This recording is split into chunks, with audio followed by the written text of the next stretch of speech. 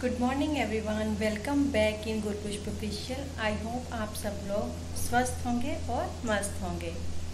तो आज है फ़र्स्ट मई और मेरी मॉर्निंग की शुरुआत हो गई है। मैंने शावर ले लिया है और वॉशिंग मशीन को लगा दिया है। बिकॉज़ अगर कपड़े सुबह धुल जाएँ तो अच्छा है। यहाँ अभी लाइट का भी इशू है। दिन में लाइट चली जाती है। गर्मी बहुत होती है राजस्थान में। अभी यहाँ पे दिन में 41 42 तक टेम्परेचर चला जाता है। तो अभी मैं मॉर्निंग में बनाने वाली हूँ चाय, क्योंकि चाय के बिना तो मेरे दिन की शुरुआत नहीं होती है। तो आप मुझे ये बताना कि कौन कौन चाय लवर है मेरी इस यूट्यूब फैमिली में।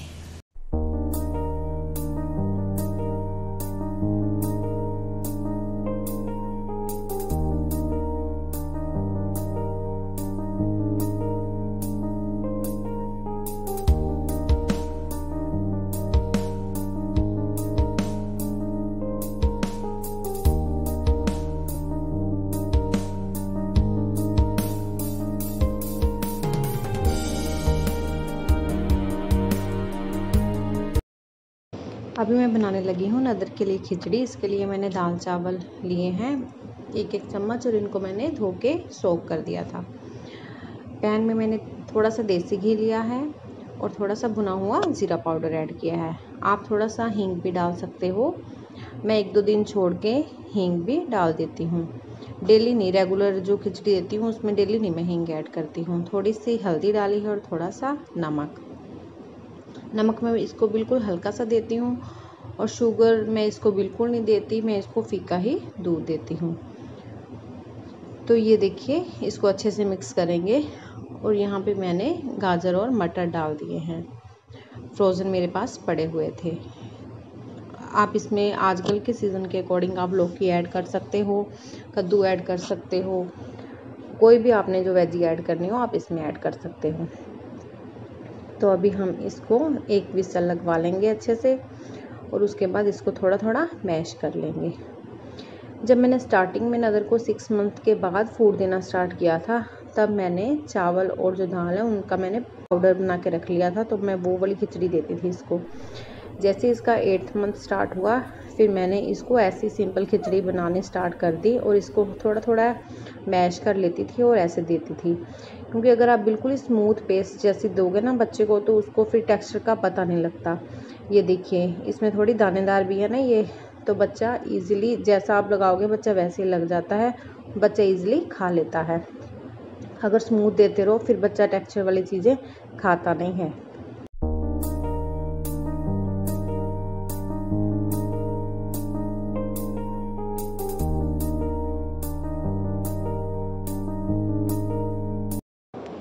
आज इवनिंग में इतना सुहावना मौसम हुआ हुआ था, इतनी ठंडी हवा चल रही थी और ये देखिए, बादल भी घिर घिर के आ रहे थे।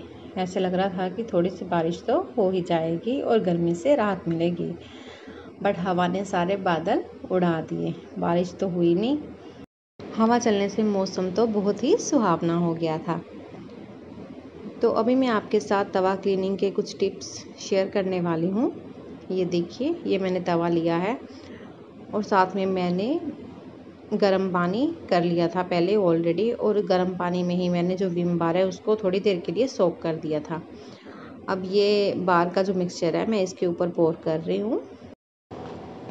और इसके साथ में इसके ऊपर अब तीन कप विनेगर के पोर करूँगी। विनेगर और विम बार में आपने जो तवा है आपका उसको ओवरनाइट सोक करके रखना है। गर्म पानी अभी और डालेंगे हम।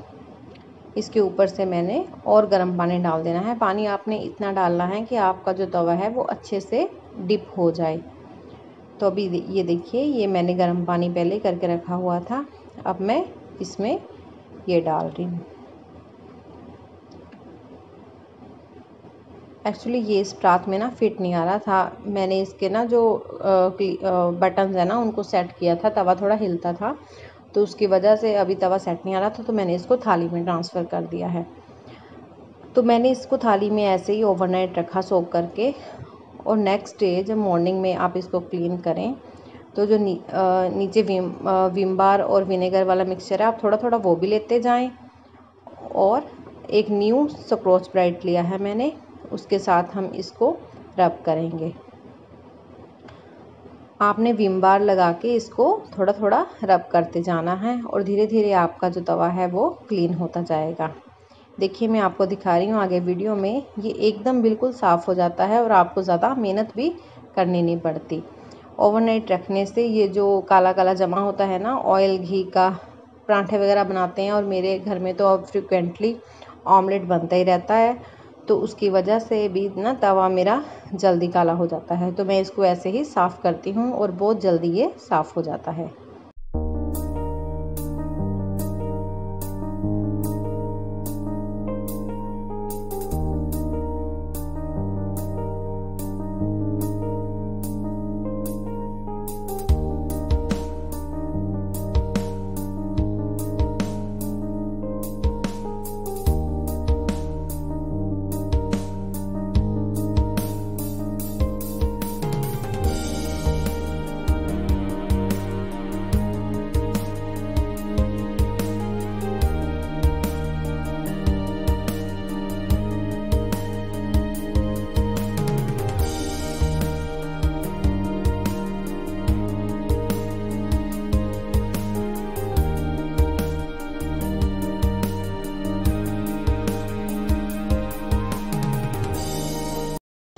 सक्रोच ब्राइट के साथ साफ़ करते वक्त भी आप गर्म पानी ले सकते हो। उससे क्या है, आपको थोड़ा इजी पड़ेगा अगर अच्छे से तवा साफ़ ना हो रहा हो। लेकिन ओवरनाइट सोक करने से इजीली क्लीन हो जाता है। मैंने देखिए यहाँ पे बिल्कुल भी गर्म पानी नहीं लिया है। सिर्फ़ विम बार और सक्रोच ब्राइट के साथ ही इसको साफ़ किया है। देखिए तवा कैसे चमक गया है।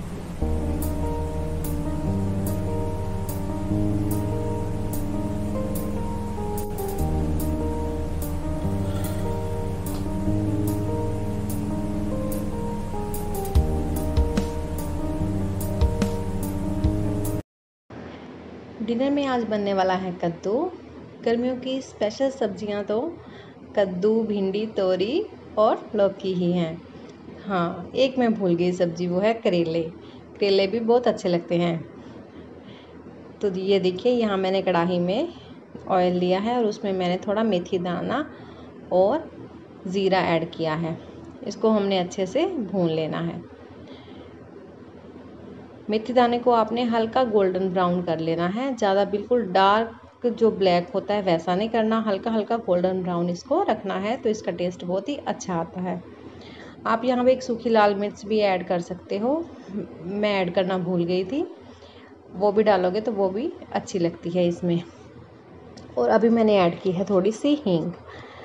हींग के साथ इसका फ्लेवर बहुत ही अच्छा आता है। ये मैं बिना टमाटर वाला आज कद्दू बना रही हूँ। जब मैं कद्दू बनाती हूँ, मैं टमाटर नहीं ऐड करती हूँ। उसकी जगह मैं आमचूर पाउडर ही डालती हूँ। और ये बहुत ही टेस्टी बनता है। ये देखिए थोड़ा सा लहसुन ऐड किया है। लहसुन को थोड़ा सा भूनेंगे और उसके बाद फिर हम ऐड करेंगे ऑनियंस।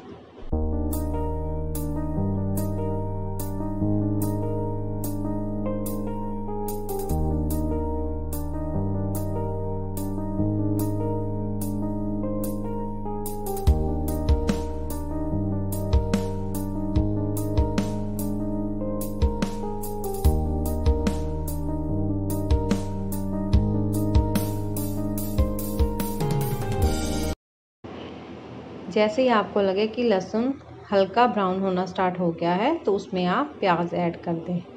तो यहाँ पे मैंने प्याज को ऐड कर दिया है। अब इसको हम भून लेंगे। प्याज को भी हमने ज़्यादा नहीं पकाना है, बिल्कुल लाल नहीं करना है, इसको भून भून के बस हल्का सा ही इसको पकाएँगे।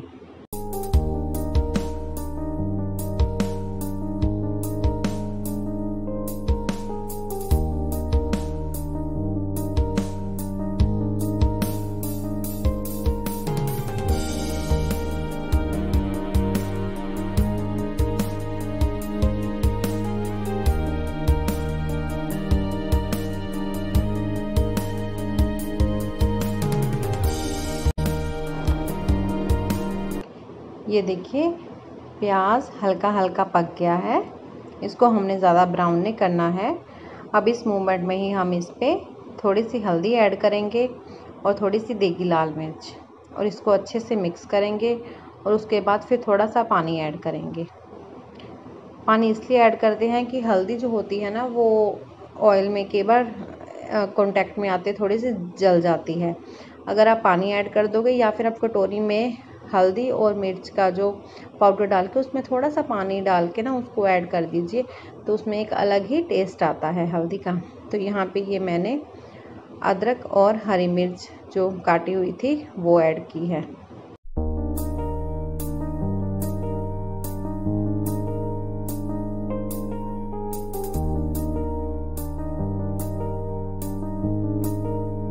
ये देखिए, यहाँ पे अभी मैंने एक चम्मच आमचूर पाउडर का ऐड किया है।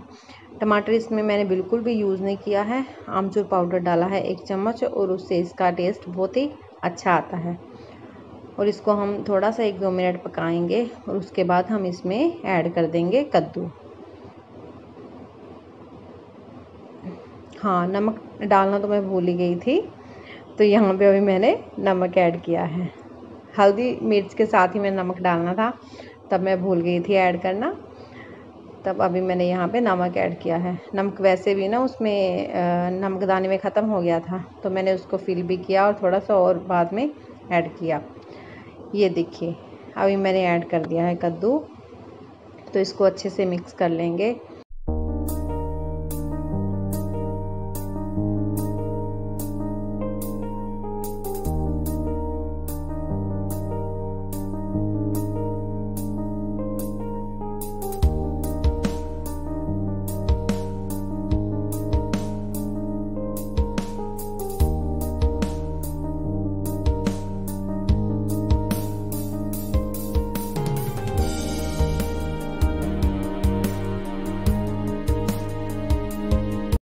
इसको कवर करने से पहले इसमें एक चम्मच चीनी का ऐड करेंगे। आमचूर हमने पहले ही डाला है तो इससे क्या कद्दू है जो खट्टा मीठा बनेगा। उसमें थोड़ा सा पानी लगा के ना मैंने उसको फिर ढक दिया था और अच्छे से पका लिया। एक्चुअली तब लाइट चली गई थी तो मैं वो पार्ट रिकॉर्ड नहीं कर पाई। ये देखिए, कितनी अच्छी कद्दू की सब्ज़ी बनी है। तो आप भी बनाइए और इसे ट्राई कीजिए। और अभी मैं बनाने जा रही हूँ एक हेयर पैक ये मेरे पास आमलाज थे। आपने मेरे पिछले ब्लॉग देखे होंगे तो आपने देखा होगा कि मैंने आंवले के अचार की रेसिपी शेयर की थी आपके साथ। चटनी की भी रेसिपी शेयर की थी तो उसमें आपने देखा होगा। ये देखिए, उस उस टाइम मेरे पास थोड़े से आंवला बचे हुए थे तो मैंने उनको सुखा लिया था। सुखा के अभी मैंने इनको पीस के इनका पाउडर बना लिया है। तो अभी मैं हेयर पैक बनाने के लिए यूज़ कर रही हूँ यहाँ पे दही। ये थोड़ी दही मेरे पास खट्टी वाली दही थी।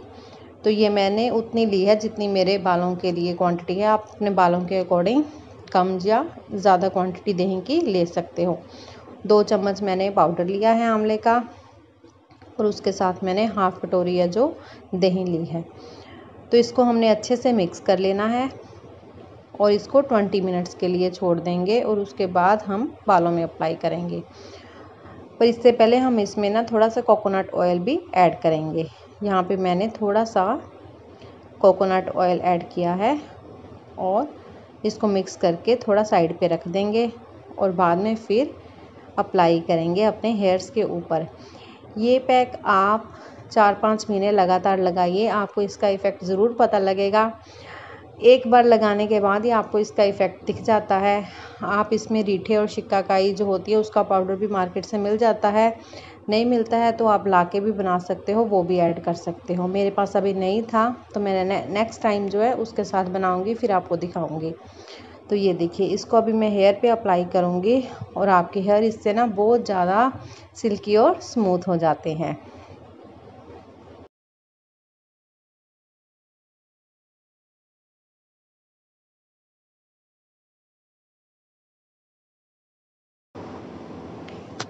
आपने ऐसे अपने हेयर्स की दो पार्टीशन कर लेनी है।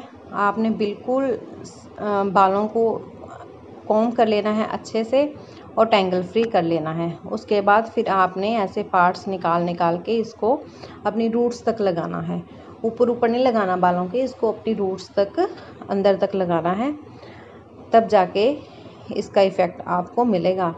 ये नेचुरल पैक है, आपकी स्कैल्प के लिए भी ये बहुत अच्छा है।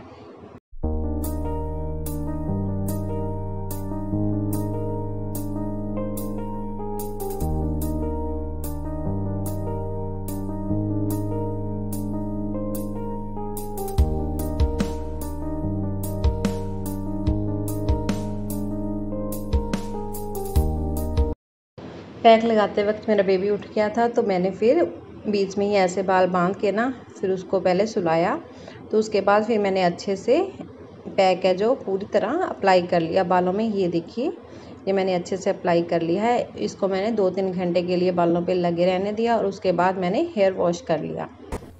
मैंने दो घंटे के बाद बालों को वॉश कर लिया है। ये देखिए, मुझे तो बहुत ही लाइट और सॉफ्ट लग रहे हैं बाल। आप भी ये पैक बना के ज़रूर लगाएँ। हाँ मैंने ना पैक लगा जो लगाया था, उसको मैंने पहले अच्छे से वॉश किया, उसके बाद मैंने माइल्ड शैम्पू भी कर लिया था। तो ये आपकी चॉइस होती है। मुझे थोड़ी दही की स्मेल आती रहती है बाद में तो इसलिए मैं हल्का सा माइल्ड शैम्पू कर लेती हूँ। बाकी आपकी चॉइस है, आप एक आधा दिन छोड़ के बाद में भी शैम्पू कर सकते हो। तो ये पैक जो है ना इन सब चीज़ों का इफ़ेक्ट हमें, अगर हम रेगुलर यूज़ करें तो लॉन्ग टर्म में दिखता है। तो आप इसको चार पाँच महीने लगातार लगाएँ पंद्रह पंद्रह दिन के गैप में तो फिर आपको पता चलेगा इसका इफ़ेक्ट ये बहुत ज़्यादा ही इफ़ेक्टिव है। आपको मेरा आज का ब्लॉग कैसा लगा, मुझे कमेंट करके ज़रूर बताएँ और मेरे चैनल को सब्सक्राइब करें और इस वीडियो को लाइक करें। जल्दी आपको एक न्यू ब्लॉग के साथ मिलती हूँ। Thank you so much for watching आगे ना मम्मा तू आगे आगे मम्मा आगे। चलो चलो।